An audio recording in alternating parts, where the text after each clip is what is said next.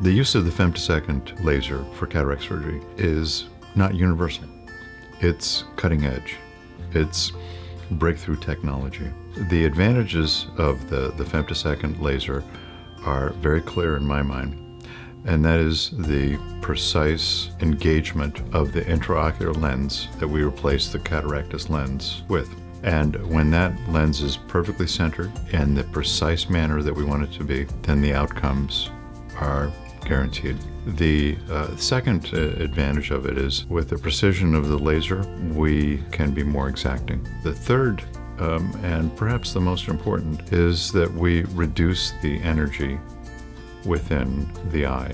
Ultrasound works by having a, the tip of a needle vibrate 60,000 cycles per second. That uh, mechanical energy creates heat energy. And if you have an oscillating instrument, the uh, fluids that circulate in the front of the eye has been shown to rise by as much as 20 degrees Celsius.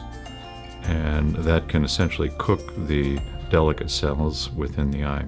So if we can minimize that energy, uh, we can have better outcomes. The femtosecond laser will fragment the, the lens uh, within the eye and make a very precise opening and address the astigmatism in a precision that no human can mimic. And so it is a, a, uh, a giant leap forward in our science and one that I'm very committed to at this point in time, having uh, used uh, the, uh, the LENSAR femtosecond uh, Uh, laser for cataract surgery over the past three years now.